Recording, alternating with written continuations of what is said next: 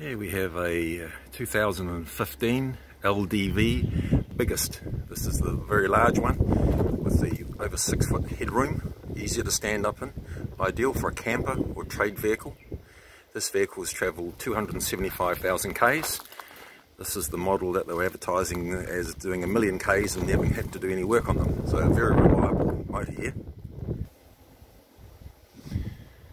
As you can see, it's very clean and tidy.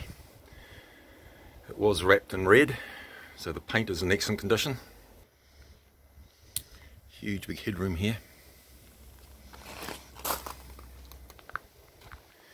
This vehicle has just been serviced, has a new warrant of fitness. To make an ideal camper as stated. Uh, Parkside Motors are located on the North Shore. We trade, we finance and we sell warranties.